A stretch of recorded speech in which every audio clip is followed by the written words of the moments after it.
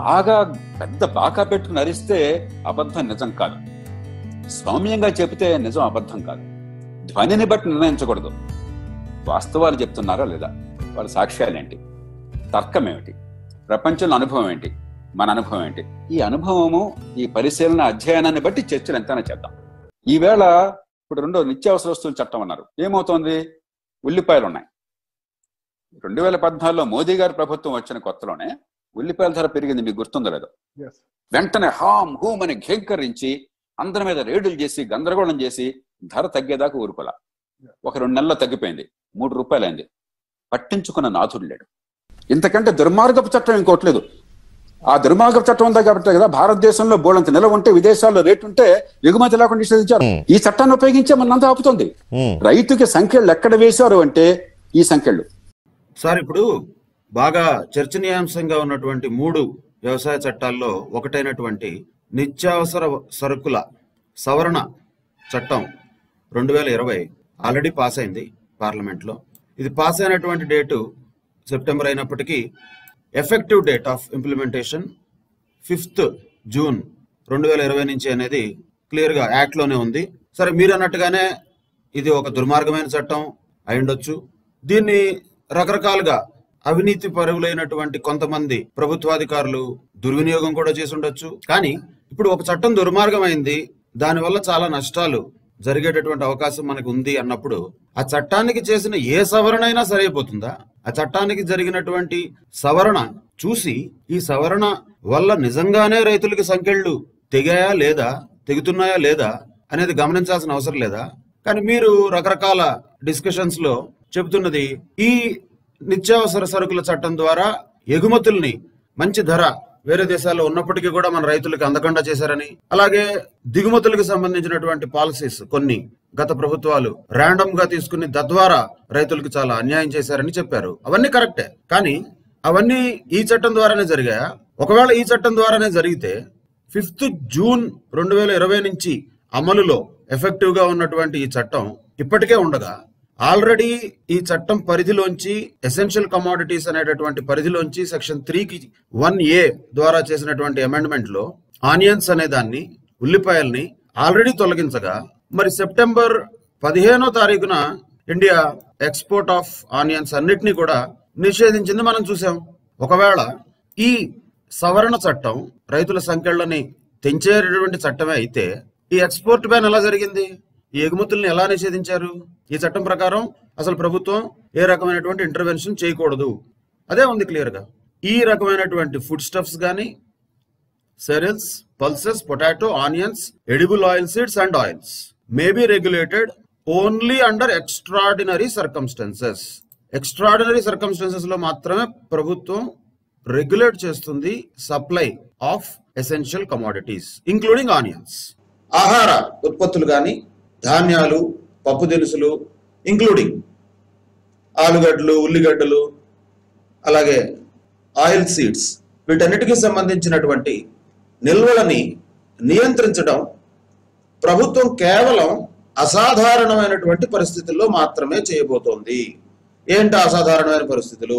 ఎప్పుడైనా యుద్ధాలు వస్తేనో కరువు కాటకాలు సంభవిస్తేనో భయంకరంగా రేట్లు పెరిగిపోతేనో అలాగే న్యాచురల్ కెలామిటీస్ ప్రకృతి వైపరీత్యాలు సంభవిస్తేనో అప్పుడు మాత్రమే కేంద్ర ప్రభుత్వం ఈ అధిక నిల్వల మీద నియంత్రణని చేస్తుంది లేకపోతే చేయదు. అంటే ఎవరైనా నిత్యావసర వస్తువుల్ని ఎంతైనా నిల్వ చేసుకోవచ్చు కేంద్ర ప్రభుత్వం వాటి మీద నియంత్రణ చలాయించదు. కోర్స్ అసాధారణమైన పరిస్థితుల్లో చలాయించవచ్చు. నార్మల్గా అయితే నియంత్రణ ఉండదు అని సెక్షన్ వన్ ఏ ఇంట్రడ్యూస్ చేశారు.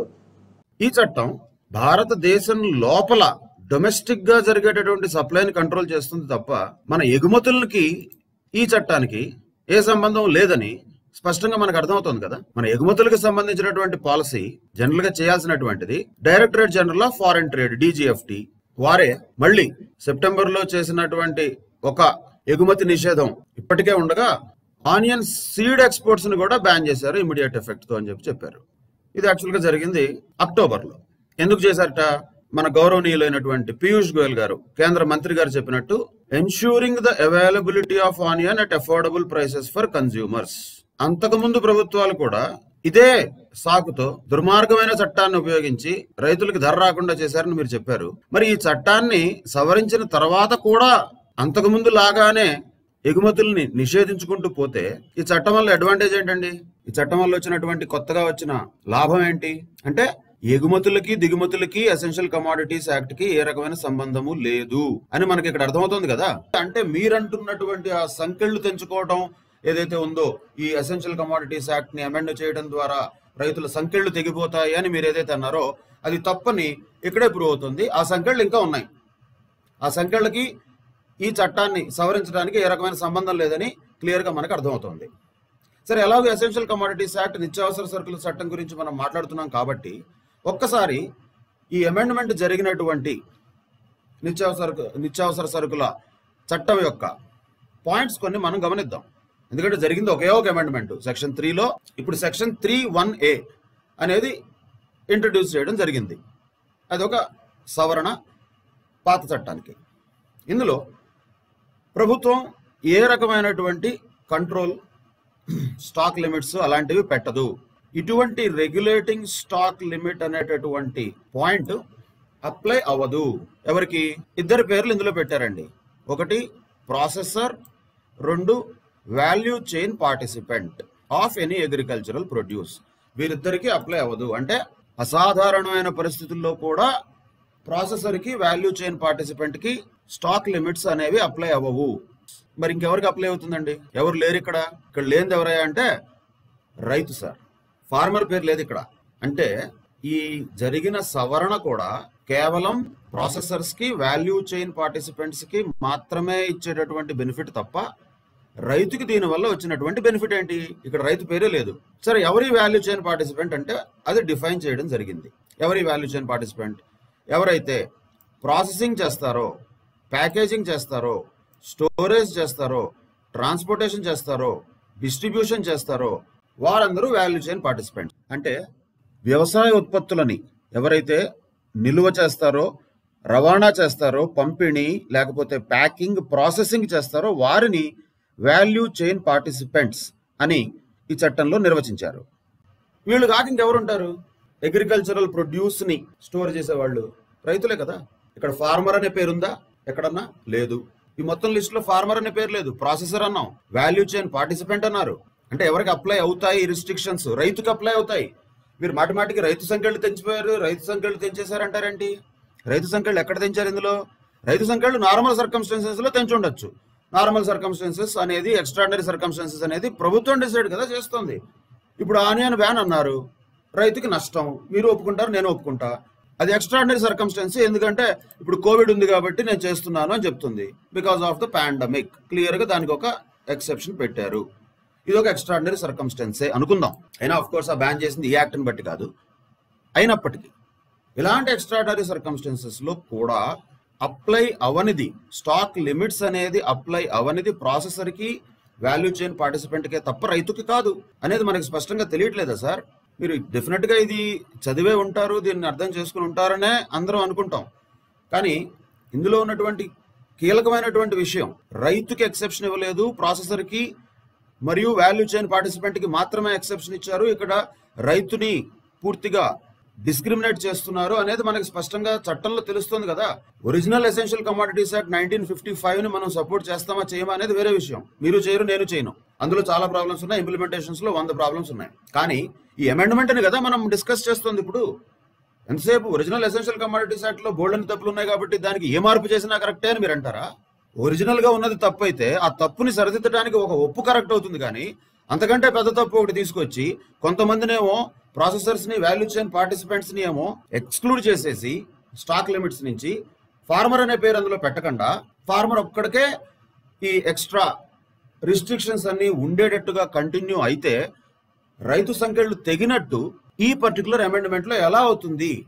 ఒకసారి మీరు ఆలోచించండి సార్. ఒకసారి కొంచెం డీటెయిల్డ్గా చదవండి. ఉల్లిపాయలో గవర్నమెంట్ నియంత్రణ చేస్తుంది. నువ్వు ఇంత నిల్వ ఉంచాలి ఇంతకంటే ఉంచకూడదు. ఇక్కడికి వెళ్ళవద్దు వెళ్ళ ఇలాంటివి పెడుతుంది. ఆలుగడ్డకి ఎలాంటి నియంత్రణ లేదు. ఎవరన్నా బంగాళాదుంప ధరలు పెరిగిన అన్నారు ఎప్పుడన్నా? ఎందుకు అనలేదు బంగాళాదుంప నియంత్రణ లేదే? దానిలో మరి ఈ చట్టం ఉపయోగించలేదే? మరి ఆలుగడ్డలో నియంత్రణ మన ఉల్లిపాయలో నియంత్రణ ఉందే? ఈ చట్టం ఉపయోగిస్తున్నారే? ధరలు ఎందుకు పెరుగుతున్నాయి? కాబట్టి ఇది పూర్తిగా అపోహ. మనం వాస్తవాలను చూసి చెప్పాలి. ఇది కాదని చెప్పండి ఎవరన్నా.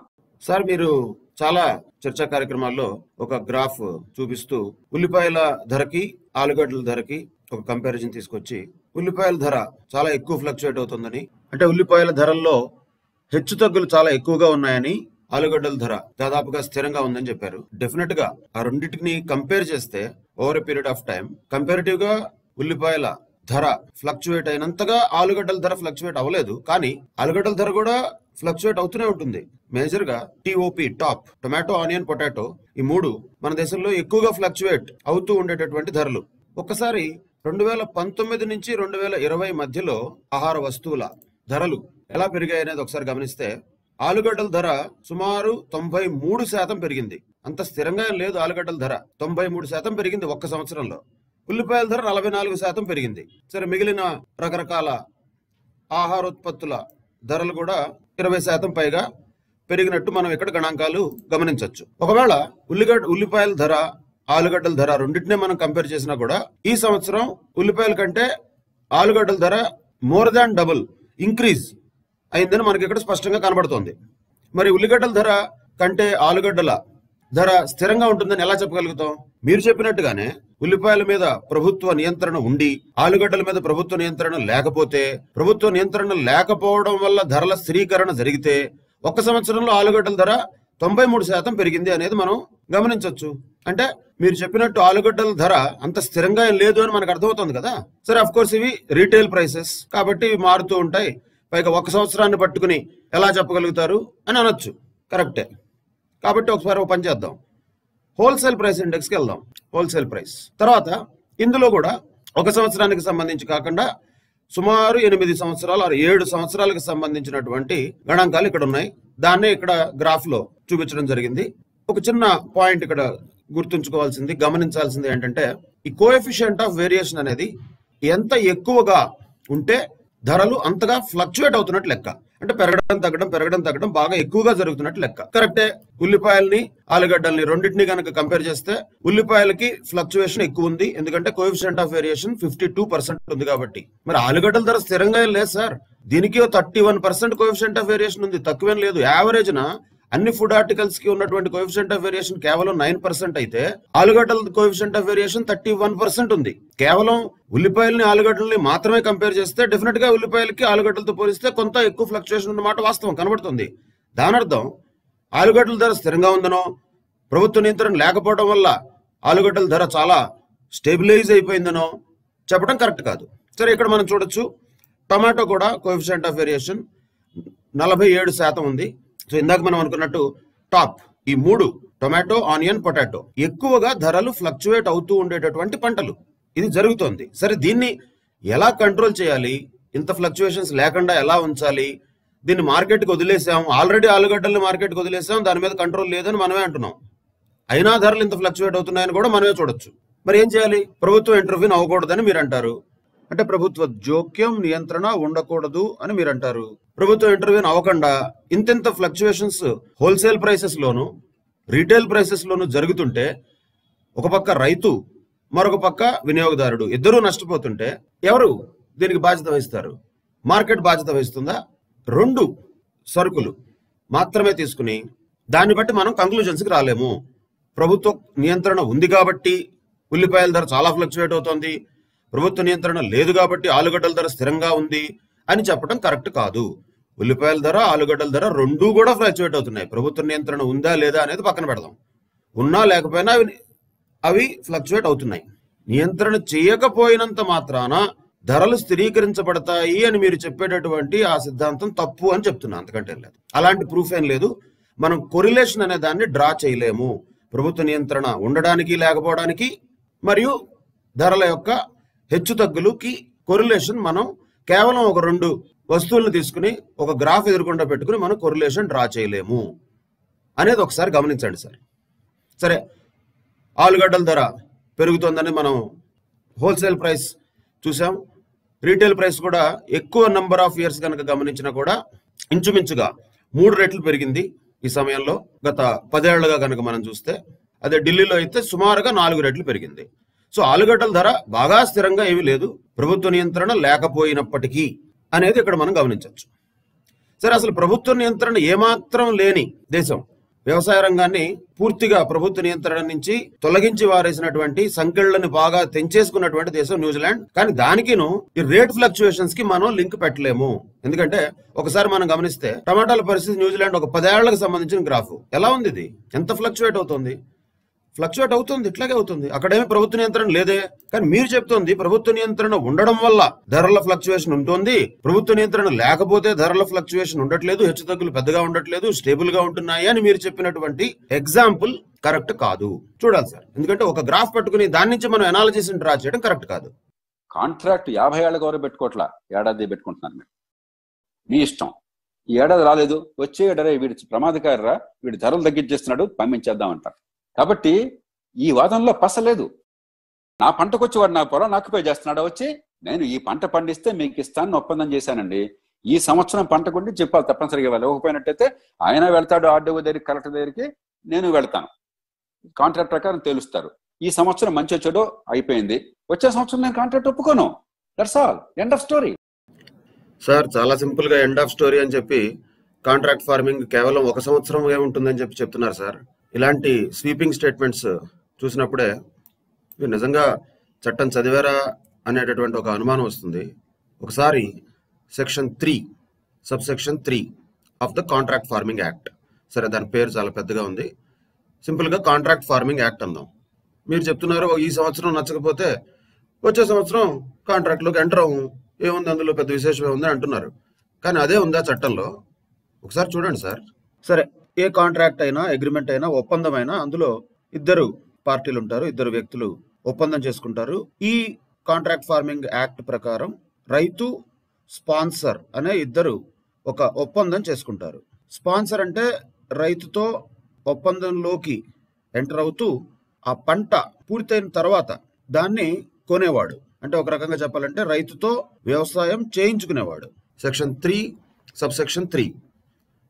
The minimum period of farming agreement shall be for one crop season or one production cycle of livestock as the case may be and period period shall be five years. ఇందులో అసలు వన్ ఇయర్ అనే మాట లేదు. ఒక crop season అంటే ఒక పంట పండే కాలం. అది సంవత్సరం కంటే తక్కువ కూడా ఉండొచ్చు. కొన్ని కొన్ని పంటలు నెలల కాలంలోనే పండుతాయి. కొన్ని పంటలకి చాలా సంవత్సరాలు పట్టచ్చు. సో దీనిలో ఒక సంవత్సరం అనే దాన్ని డిఫైన్ చేయలేం. కానీ మ్యాక్సిమం పీరియడ్ చట్టంలో పెట్టింది ఐదు సంవత్సరాలు. ఇందులో అసలు ఒక సంవత్సరం అనేటటువంటి మాట ఎక్కడొచ్చింది? చట్టంలో ఎక్కడ ఒక సంవత్సరం అనేది లేదు. అలాగే అసలు ఐదు సంవత్సరాలు అనే దానికి కూడా మ్యాక్సిమం పీరియడ్ తప్ప అదేమి ప్రిస్క్రైబ్డ్ పీరియడ్ కాదు. ఒకవేళ ప్రొడక్షన్ సైకిల్ కనుక ఐదు సంవత్సరాల కంటే కూడా ఎక్కువ ఉంటే అప్పుడు ఈ ఫార్మింగ్ అగ్రిమెంట్ కాంట్రాక్ట్ యొక్క డ్యూరేషన్ ఐదు సంవత్సరాల కంటే ఎక్కువ కూడా ఉండొచ్చు. సో ఐదు సంవత్సరాలు ఐదు సంవత్సరాల కంటే ఎక్కువ ఐదు సంవత్సరాల కంటే తక్కువ ఏదైనా ఉండొచ్చు అని చెప్పారు ఈ అగ్రిమెంట్లో. కాబట్టి మీరు చెప్పినటువంటి సింపుల్ స్టోరీ అంత సింపుల్ ఏం కాదు. చట్టంలో ఉన్నదే కదా మనం మాట్లాడాలి. చట్టంలో ఉన్నది సెక్షన్ త్రీ సబ్ సెక్షన్ త్రీలో అదే. అలాగే ఈ స్పాన్సర్ అనేవాడు వచ్చి ఏమన్నా రైతు భూమిని ఏమన్నా ఆక్రమిస్తున్నాడా అని మీరు అడిగారు. కరెక్టే. రైతు భూమిని ఆక్రమించేటటువంటి అధికారం స్పాన్సర్కి లేదు. ఎందుకంటే సెక్షన్ ఎయిట్ ఏ ప్రకారం ఏ రకమైనటువంటి transfer of or sale lease or mortgage of land is not permissible అనేది క్లియర్గా ఉంది. కరెక్టే. కానీ ఆక్రమించడం అంటే దాని లీగల్ టైటిల్ని ట్రాన్స్ఫర్ చేయడం ఒకటే కాదు. ఎయిట్ బి ఒకసారి మీరు చదవండి సార్. ఎయిట్ బిలో పర్మనెంట్ స్ట్రక్చర్ అనేటటువంటి మాట వచ్చింది. అంటే శాశ్వత నిర్మాణాలు. అంటే రైతుకు సంబంధించిన భూమి మీద స్పాన్సర్ అనేవాడు పర్మనెంట్ స్ట్రక్చర్స్ కట్టకూడదు. ఒకవేళ ఆ స్పాన్సర్ కనుక ఎగ్రీ అయితే ఆ పర్మనెంట్ స్ట్రక్చర్స్ని రిమూవ్ చేసేస్తాను అని. అగ్రిమెంట్ అయిపోయిన తర్వాత ఆ పర్మనెంట్ స్ట్రక్చర్ని నేను పీక్కెళ్ళిపోతాను అని స్పాన్సర్ ఒప్పుకుంటే పర్మనెంట్ స్ట్రక్చర్స్ కట్టుకోవచ్చుట. ఇది రైతు భూమి మీద అనవసరంగా స్పాన్సర్కి ఇచ్చినటువంటి హక్కు కాదా? ఇందులో రైతు ప్రయోజనం ఉంటుందా? స్పాన్సర్ ప్రయోజనం ఉంటుందా? స్పాన్సర్కి ఏం సంబంధం? రైతు భూమిలో పర్మనెంట్ స్ట్రక్చర్ కట్టడానికి. సరే తర్వాత పీక్కెళ్తాడా లేదా అనేది వేరే విషయం. నువ్వు కనుక పీకెళ్ళిపోయేటట్టయితే నీకు పర్మనెంట్ స్ట్రక్చర్ కట్టుకునేటటువంటి అవకాశం చట్టం ఇస్తుందా స్పాన్సర్కి ఇలాంటి చట్టాన్ని మనం సమర్థిస్తామా? ఒకసారి చూడండి సార్. ఇది రైతు సంఖ్యలను తెంచేదా? ఈ- చట్టమా? రైతు సంఖ్యలను తెంచేది. లేకపోతే రైతుకి కొత్తగా కష్టాలను తెచ్చిపెడుతోందా? చూడాలి కదా సార్. అలాగే ఇంకొకటి కూడా ఉంది ఇందులో. Section four subsection four section four subsection four ఏం చెప్తుందంటే the parties entering into a farming agreement may require as a condition that such mutually acceptable quality grade and standards shall be monitored and certified during the process of cultivation or rearing or at the time of delivery by third party qualified assayers to ensure impartiality and fairness ఏ రకమైనటువంటి నాణ్యతా ప్రమాణాలతో ఈ పంట ఉండాలి అనేది even from the process of cultivation ఒక third party qualified SIR దాన్ని monitor చేయడానికి అవకాశం ఇచ్చింది. అలాంటి అవకాశం ఎవరికి ఉంటుంది third party qualified assayer agricultural expert ఒక థర్డ్ పార్టీ కన్సల్టెంట్ని పెట్టుకునేటటువంటి వెసులుబాటు అంత స్థోమత రైతుకు ఉంటుందా స్పాన్సర్కు ఉంటుందా అలాంటి థర్డ్ పార్టీ క్వాలిఫైడ్ ఎస్ఐఆర్ రైతు ప్రయోజనాలు కాపాడతాడా? స్పాన్సర్ ప్రయోజనాలు కాపాడతాడా? ఎవరి తరపున థర్డ్ పార్టీ క్వాలిఫైడ్ ఎస్ఐఆర్ పనిచేస్తాడు? ఎందుకంటే ఎవరికి కావాలి ఫైనల్గా? ఈ నాణ్యత ప్రమాణాలు. నాణ్యత ప్రమాణాలు కావాల్సింది స్పాన్సర్కి అవి పాటించబడుతున్నాయా లేదా అని చెప్పి అనుక్షణం during the process of cultivation also అంటే రైతు వ్యవసాయం చేస్తూ ఉండగా పంట కోసిన తర్వాత లేదంటే ఆ పంటని స్పాన్సర్కి డెలివరీ ఇచ్చే టైంలో ఏ సమయంలో అయినా సరే ఇలాంటి నియంత్రణ మరియు పర్యవేక్షణ. ఎవరో మూడో వ్యక్తి చేయొచ్చు. ఒక థర్డ్ పార్టీ ఎస్ఐఆర్ అనేవాడు మానిటర్ చేస్తూ ఉండొచ్చు అని ఇచ్చినటువంటి ఈ ఫెసిలిటీ రైతుకు ఉపయోగపడుతుందా స్పాన్సర్కు ఉపయోగపడుతుందా? మీరు చెప్పండి sir. Section four sub section ఫోర్లో రైతుకు వచ్చినటువంటి బెనిఫిట్ ఏంటి? రైతుకి తొలగిన సంఖ్యలు ఏంటి? లేదా కొత్తగా పెట్టబడుతున్న సంఖ్యలు ఏంటి? ఏ పురుగు మందులు వేయాలి? ఏ విత్తనాలు వేయాలి? ఎలా ప్రాసెస్ చేయాలి? ఎలా వ్యవసాయం చేయాలి? అనేది అడుగు అడుగున రైతు యొక్క వ్యవసాయం అనేటటువంటి యాక్టివిటీ మీద మానిటరింగ్ అండ్ కంట్రోల్ ఒక థర్డ్ పార్టీ క్వాలిఫైడ్ ఎస్ఐఆర్కి ఇవ్వడం అంటే అది రైతుకి సంఖ్యలు వేసినట్ట తీసినట్ట? మీరే చెప్పాలి సార్. అంటే మీ రైతు పక్షపాతాన్ని ఎవరు శంకించట్లేదు సార్. దయచేసి తప్పుగా అనుకోవద్దు. కానీ ఇప్పుడున్నటువంటి రైతులకి పరిస్థితులు బాగాలేదు కాబట్టి ఇంకా ఏదో చాలా చేయాల్సింది ఉంది రైతులకి కాబట్టి ఈ చట్టాలు మంచివే అనేటటువంటి ఆర్గ్యుమెంట్ కరెక్ట్ కాదు. మంచివా చెడ్డవా? రెండు చూడాలి కదా. మీరు ఒక సైడే చెప్తున్నారు. ఒక సైడు మీరు చెప్పే సైడ్ ఏమో ఊహాజనితమైనది. రైతుకు జరగబోయే మేళ్ళు కానీ రైతుకి జరగబోయేటటువంటి ప్రాబ్లమ్స్ కానీ పాసిబుల్ థింగ్స్ కానీ అవి ఊహాజనితమైనవి కాదు. పర్మనెంట్ స్ట్రక్చర్ అనేది చట్టం ఎలా చేస్తుంది. కనీస మద్దతు ధర ప్రభుత్వం చట్టబద్ధంగా ఎక్కడ చెప్పలేదు కదా. సో రైతుకు రావాల్సిన బెనిఫిట్ చట్టంలో ఎక్కడ ఉండదు. కానీ రైతు మీద పెట్టేటటువంటి ఆంక్షలు పర్మనెంట్ స్ట్రక్చర్ పేరుతో థర్డ్ పార్టీ క్వాలిఫైడ్ ఎస్ఐఆర్ని రైతు యొక్క యాక్టివిటీస్ని మానిటర్ చేయడం అనేటటువంటి పేరుతో చట్టం ఎలా చేస్తుంది? ఇవి మనం చూడాలి కదా సార్. సరే మీరు అంతకు ముందు డిస్ట్రిక్ట్ మెజిస్ట్రేట్గా కూడా చేసి ఉన్నారు జిల్లా మెజిస్ట్రేట్గా చట్టాల గురించి మీకు తప్పకుండా మంచి అవగాహన ఉండుండాలి. కానీ మీరు సెక్షన్ ఎయిటీన్ని ఎలా సపోర్ట్ చేస్తారు? సెక్షన్ ఎయిటీన్ అనేది ఏ చట్టంలో అయినా ఉండొచ్చా అనేది మీరే ఒకసారి చూడండి. No suit prosecution or legal proceeding shall lie against central government state government registration authority sub divisional authority appellate authority ఇక్కడ వరకు okay. Or any other person or any other person ఎవరా పర్సన్ ఎవరైనా అవచ్చు for anything for anything which is done in good faith or intended to be done also. చేసిన చెయ్యబోయే అన్ని రకాలైనటువంటి యాక్షన్స్కి సరే గవర్నమెంట్కి ఎక్సెప్షన్ ఇచ్చుకున్నారంటే అది పక్కన పెడదాం. ఆర్ ఎనీ అదర్ పర్సన్ కూడా ఇందులో ఏ రకమైనటువంటి ప్రాసిక్యూషన్ కానీ లీగల్ ప్రొసీడింగ్స్ కానీ ఉండకూడదు అని ఈ చట్టంలో పెట్టారు. ఇది సహజ న్యాయ సూత్రాలకు విరుద్ధం కాదా సార్? అంటే ఒక వ్యక్తి ఎవరైనా కావచ్చు ఏ అగ్రిమెంట్లో అయినా ఇద్దరు పార్టీస్ ఉంటారు అందులో ఎవరైనా తప్పు చేయొచ్చు ఎవరైనా కానీ ఆ తప్పు చేసినటువంటి వ్యక్తి పవిత్ర హృదయంతో చేస్తే ఆ తప్పు తప్పు కాకుండా పోతుందా? అదే చట్టం అలా ఉంటాయి చట్టాలు? ఉండకూడదు కదా సార్? ఉండకూడదు కదా? ఈ గుడ్ ఫైత్ ఏంటి పవిత్ర హృదయంతో ఎవరైనా తప్పు చేస్తే అది కరెక్ట్ అయిపోతుందా? ఇలాంటి సెక్షన్స్ ఉన్నటువంటి చట్టాన్ని మనం ఎలా సమర్థిస్తాం సార్? చట్టం అంటే దానిలో ఉండేటటువంటి ఆబ్జెక్టివ్స్ కాదు. చట్టం మొదట్లో చాలా అద్భుతమైనటువంటి ఆబ్జెక్టివ్స్ పెడతారు. ఎవరైనా పెడతారు. ఏ ప్రభుత్వం అయినా చట్టాలు చేసేటప్పుడు అసలు ఈ చట్టం సూపరు ఈ ఎక్సలెంట్ చాలా బాగుంటుంది అనే చెప్తారు. ఇంత అద్భుతంగా చెప్తారు. ఇది ఒకటి చదివేసి ఆహా ఓహో అని మనం అనకూడదు కదా. మనం చదవాలి కదా సెక్షన్స్. అది కదా సార్ మీలాంటి వాళ్ళ దగ్గర నుంచి ఎక్స్పెక్ట్ చేసేది. ఇది చదివేసి మేము మనం ఆహా ఎంత అద్భుతమైన చట్టం పెట్టారనుకుంటేట అంటే చట్టం పెట్టుకున్నటువంటి లక్ష్యాలను చూసి ఆ లక్ష్యాలన్నీ చట్టం నెరవేర్చేస్తుంది అని మనలాంటి వాళ్ళు మీలాంటి వాళ్ళు డెఫినెట్గా అనుకోకూడదని నా విన్నపం సార్. సరే సెక్షన్ నైన్టీన్ గురించిన చాలా చర్చ ఆల్రెడీ జరిగింది. సివిల్ కోర్టుకి వెళ్ళకూడదు. ఈ కాంట్రాక్ట్ ఫార్మింగ్ అగ్రిమెంట్ చేసుకున్నటువంటి పార్టీస్ ఎవరు కూడా కోర్టుకి వెళ్ళకూడదు.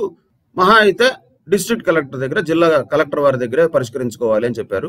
కానీ చట్టంలో ఏ చట్టంలో అయినా నీకు అసలు లీగల్ రెమెడీయే లేదు అని చెప్పటం కరెక్ట్ అవుతుందా? లీగల్ రెమెడీ అనేది కూడా ఒక ప్రాథమిక హక్కే కదా సార్ మన భారత రాజ్యాంగం ప్రకారం. ఆ హక్కుని హరిస్తూ చట్టాలు చేయొచ్చా? అలాంటి చట్టాలను మనం సమర్థించవచ్చా ఇంత చేసి ఆ డిస్ట్రిక్ట్ కలెక్టర్ అనే అతను కూడా ప్రభుత్వాధికారే కదా. మీరే చెప్తున్నారు కదా ప్రభుత్వం లో ఉన్నటువంటి అధికారులందరూ లంచగొండలైపోయారు అవినీతిలో మునిగిపోయి ఉన్నారని మీరే కదా చెప్తున్నారు గట్టి గట్టిగా మరి అలాంటి లంచగొండి అధికారి దగ్గర ఎక్కువ లంచం ఇవ్వగలిగిన వాడికే న్యాయం జరుగుతుంది. స్పాన్సర్ ఎక్కువ లంచం ఇవ్వగలుగుతాడా? రైతు ఎక్కువ లంచం ఇవ్వగలుగుతాడా? అని చిన్నపిల్లవాడిని అడిగినా చెప్తారు కదా సార్. అక్కడితో ఆగిపోవాలి. అదే ఇక ఫైనల్ అని ఏ చట్టమైనా చెబితే అలాంటి చట్టాలని మీలాంటి వాళ్ళు సమర్థించడం సబబు కాదు సార్. ఆలోచించండి సార్.